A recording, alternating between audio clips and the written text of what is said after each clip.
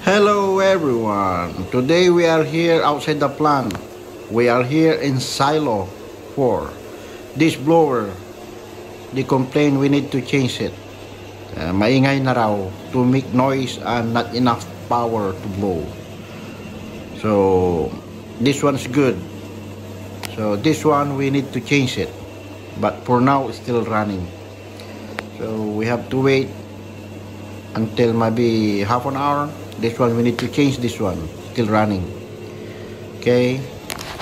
So yan ang disconnect niya pagka na-off niya yan tatapusin niya ang cycle lagyan natin ng lockout bago natin disconnect itong motor. Okay? Yan disconnect natin yung box niyan kasi uh, blower pump malakas ang pressure niyan pero ngayon daw mahina daw. Kailangan na lang palitan ng bago. Yan. Pag nasira yung isa pwede namang gamitin. Nasa silong tayo ng loob tayo ng silo. See? yan ang silo. Yan yung baba may motor gearbox yan. Okay tani madilim na. Uh, malamig. Walang snow but cold. 22 degree. So sarado natin pinto para di pumasok ang hangin. Balik na lang tayo after pag na-shutdown na nila linya tapusin nila cycle ito. PVC yeah taas padilim na. Uh, ilang silo to maraming silo. Uh, nandito na yung uh, isang unit na blower pump. Yung motor niya saka itong pump So, built. Kailangan palitan ng buong unit para ma-overhaul din yung motor niya. Lahat. Ganon dito yun. Kaya dinala na mechanic. So, bago natin i-disconnect to, ito ang disconnect natin, need lockout. Alright guys, mayroon na tayong lockout. Yan. So, pwede na tayong um, uh, disconnect ang motor supply. Bubuksan natin yung ano. Right? Ito. Buksan natin tong junction box ng motor. Alright junction box ng motor ay box has na. So next step we gonna do is disconnect this connectors marets. So bali 3 4 5, 6, 6 na connection yan guys. Right yeah. Tatanggalin natin UBW1 so tapos tanggalin natin yung connectors ng cable sa baba. Okay? Hold on muna. Disconnect ko muna ang connection at maret alright. Connection disconnected and maret remove so next make it straight this cable. And this is a maret we disconnect. We just keep it. Kailangan natin yan next uh, motor. This connector we need cable if we need to loose and pull out and done. Right? Okay. Now we need we need this channel lock to open this connector para mahugot natin. Right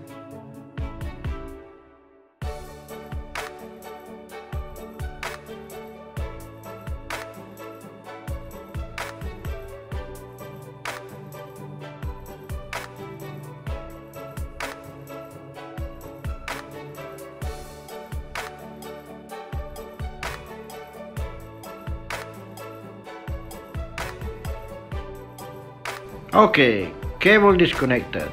Tabi ko lang muna dito. Then, takpan ko yung cover at tawagin ko na mechanic para disconnect na nila ang motor pump. After 1 hour, the mechanic disconnect the old motor and installed the new pump.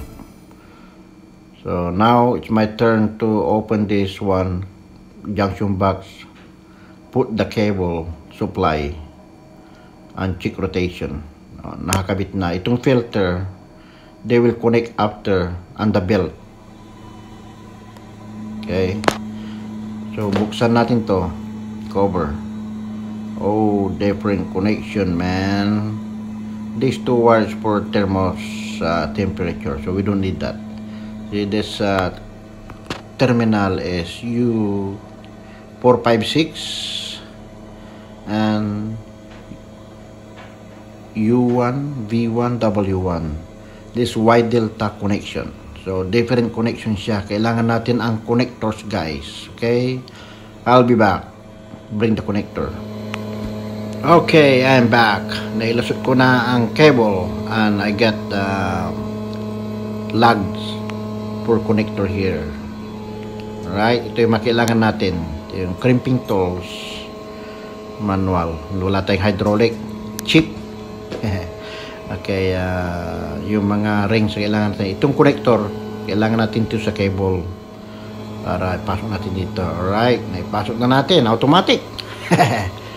okay, next step guys is this uh, supply one, six wires kailangan natin ang connect ang lugs. Yo. Lugs connected now. Almost done. Right? Alright. All logs done connected.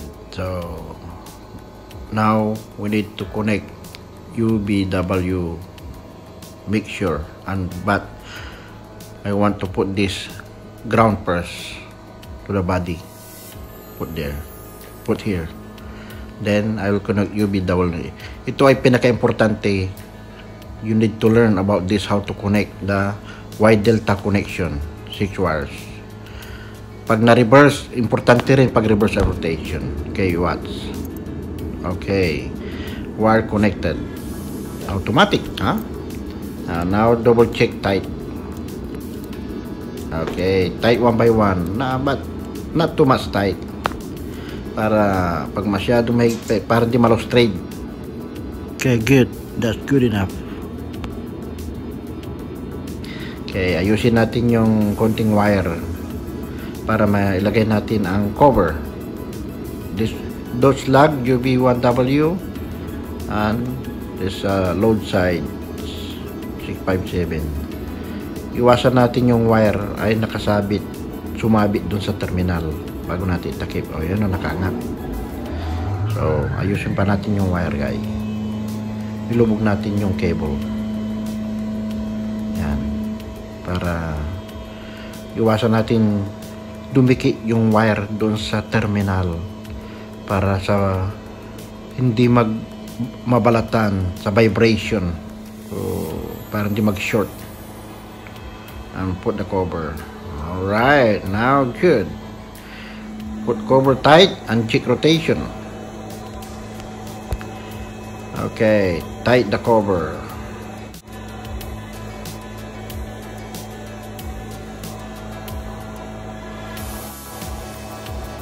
if rotation good then they will put the belt and filter.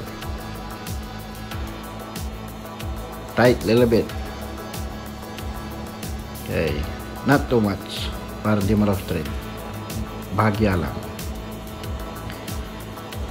Alright. Okay. That's good Alright, now time to remove the lockout para ma-turn on natin at ma-check ang rotation. Important na to check the rotation.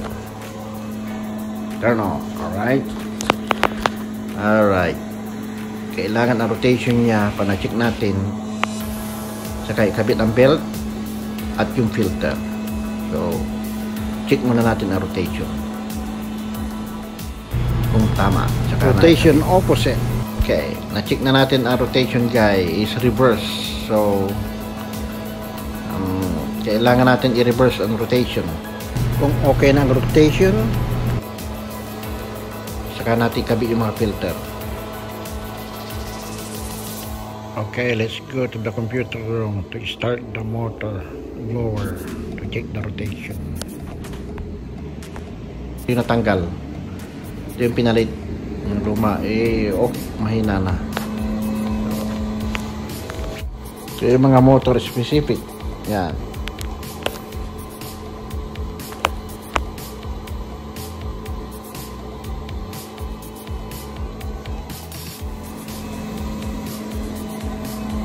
Compare natin and uh, let's compare the rotation for this old motor. Supposed to be same direction okay if you are behind supposed to be clockwise. Okay so the one we install is reverse. Dapat ganyan siya. Kung nasa likod ka ng shaft so nasa harap ka ng pulley naman kabila. Counterclockwise pag nasa harap ka ng pulley. Dito tayo sa control room. Tinanggal ko na ang fuse at ni-reverse ko na dito sa load side ng fuse.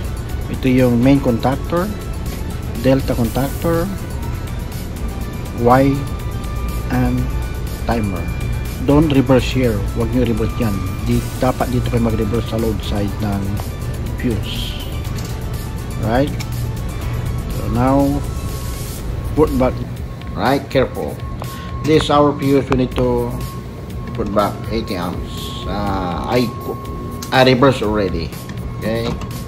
I need to put back the fuse and I will inform mechanic that I reverse already the direction so that they will install the filter and belt okay. One more fuse. Yan kaya huwag kayo mag-reverse dyan sa contactor. Right? Let's go outside. Okay I let them know. Okay they can start to install filter now. Just to double check the rotation supposed to be clockwise now.